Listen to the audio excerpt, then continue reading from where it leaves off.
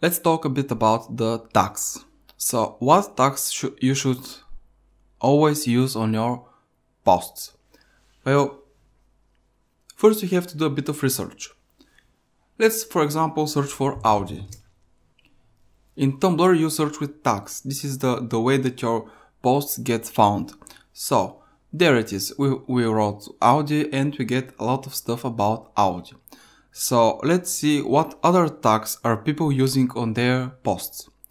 So let's see this one for example. We have an Audi TT, Audi TT Cup. So you can see that we have four, three different tags that have Audi TT. Well, this is because people include all the relevant tags about their posts. You don't have any limitation on how, how many tags you can use on a post. So you simply go ahead and add everything that you can think of that is relevant to your post that you're posting. There it is here another one, Audi, and many, many, many other. So you have to simply research what other people are, what tags are other people using when they make their, their posts, and you should use the same tags, at least this sh should be your minimum.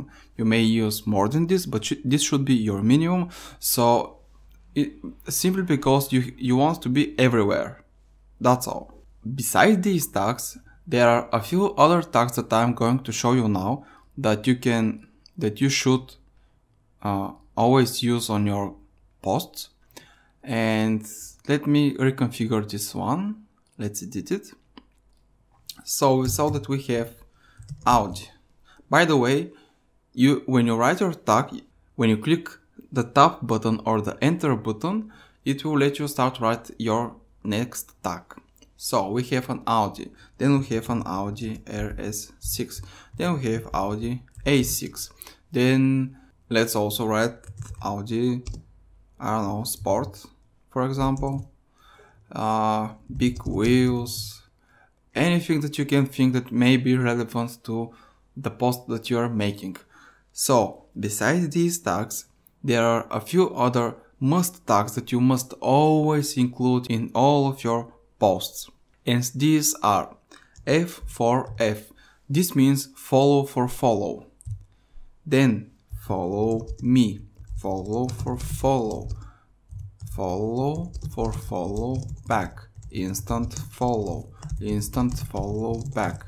These are the tags that you must always include in all of your posts. As you can see, they, they pretty much say follow me, fo I will follow you back, and so on and so forth. F for F stands for follow for follow, like the one we have here. So these are tags that people sometimes use in order to get followers for themselves. So, hey, I follow you, you follow me, something like that. So this is why you should always use these tags as well. So let's save this. And this is all you need to, do, to know about the tags.